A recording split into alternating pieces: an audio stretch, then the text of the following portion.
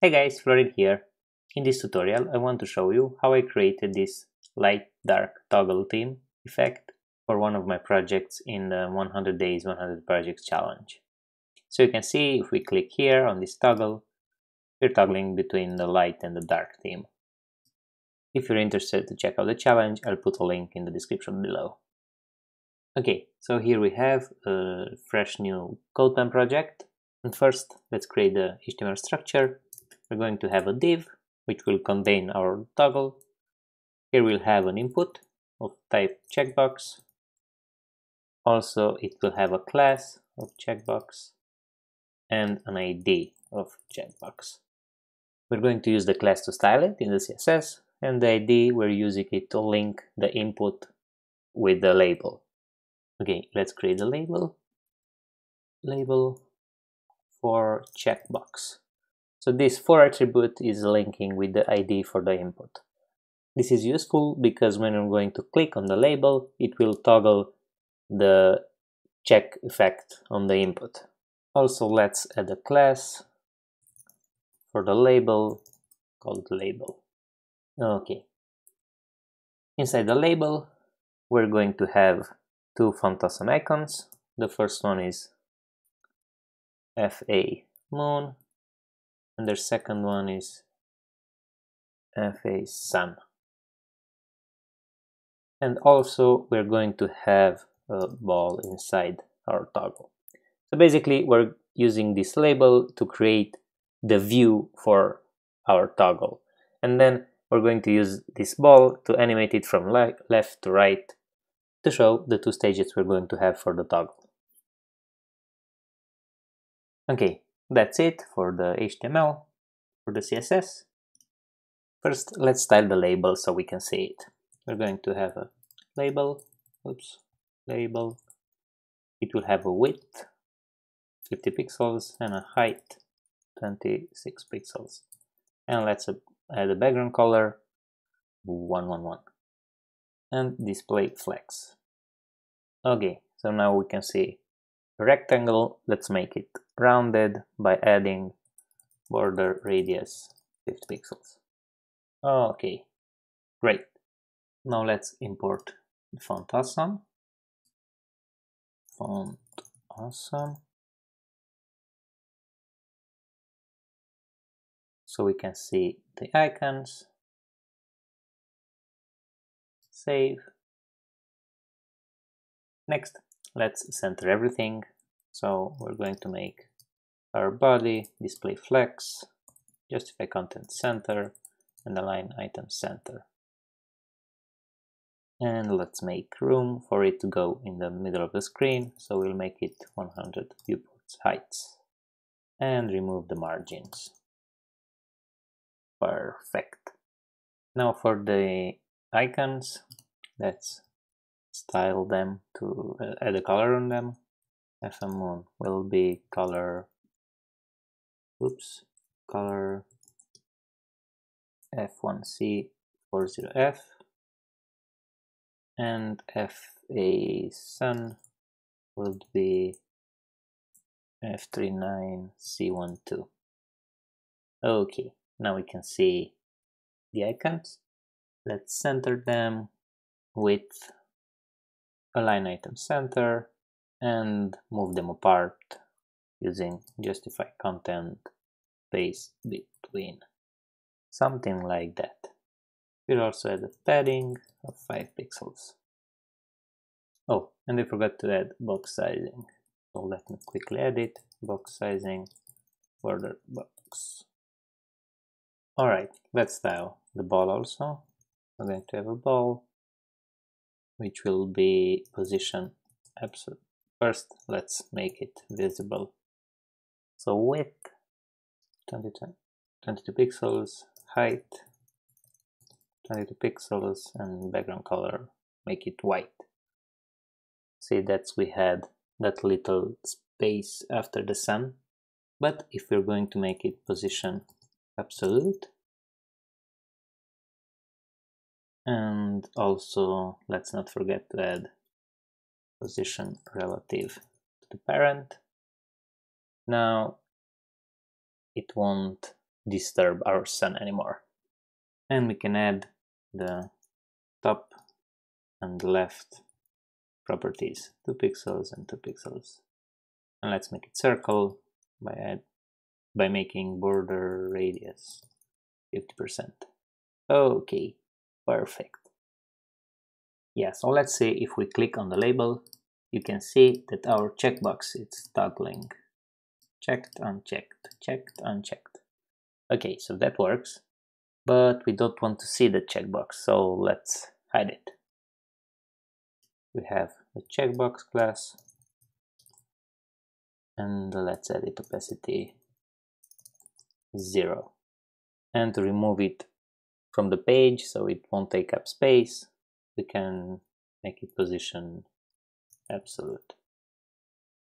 And now we have our toggle in the center of the screen. Great.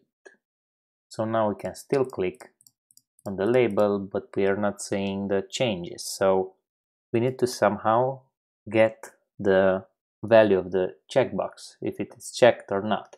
And that's easily done by targeting the checked pseudo element. So if we go on the checkbox and say checkbox checked, and then we target the label, for example, we can change the background color. Let's see, background color purple or something. See, it automatically changed because the state was checked. So if we click on it, it will change the background color. But that's not what we want. We want to move the ball from left to right. So instead of targeting the label, and by the way, this selector is the adjacent selector. So it says basically that see what element goes after the input. So in this case, we have the input and we target the label which goes after the input. So now that we know that, uh, let's target the label after the input and inside the label we have the ball. And we can move the ball to the right by adding transform translate x 24 pixels. So let's check it out. You can see now when we click, the ball moves from left to right. Let me move this code underneath the ball because it's it's on this is the styling of the same element. And let's add a transition because we don't want the ball to jump. We want it to animate from left to right. So transition, transform, 0.2 seconds and linear. And now when we click, the ball moves slowly from left to right.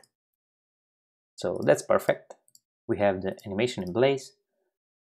Now the last thing we need to do is add a little bit of JavaScript where we're going to target the checkbox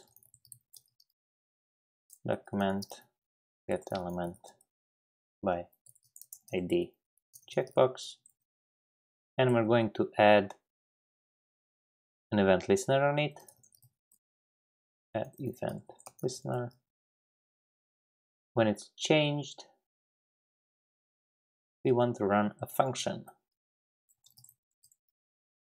And here we want to change the theme of the website. But we don't have a theme yet. We only have the white background. So let's add a dark theme on the body so we have the body and arc add a dark class on it. And when this class is applied on the body we can have a background color. And now in the JavaScript, we can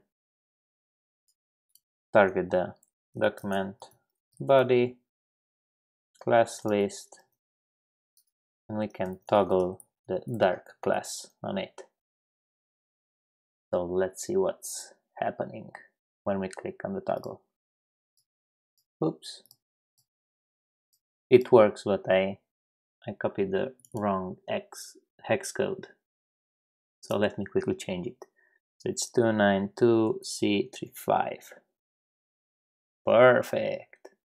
So now when we toggle checkbox, we have the background color change on the body. Let's also add a little transition here. Background 0.2 seconds and linear, so it will be smooth. Okay, perfect. The toggle is a little bit smaller, so let's add a transform scale 1.5 on it. So we make it bigger. You don't have to do this, I just wanted to make it visible because it's the only element on the page. So yeah, this is pretty much it. We only toggle the body, the body class, and we can see the background changing. But let's see, for example, if we add a, a paragraph with some text in it. All right, let's uh, move the text down a little bit. Flex direction column. Okay. So now when we were toggling, you can see that the, the text remains the same, but we can add a add the body that dark and toggle the, the p tag and we can do something like color FFF or something like that. And now when we're toggling, you can see that the class is applied on the body and the paragraph is changing its color. So yeah, this is pretty much how you're doing a light dark theme toggler or how do you want to call it. I hope you enjoyed this tutorial. Make sure you like and subscribe and all those fun things. See you in the next one. Bye.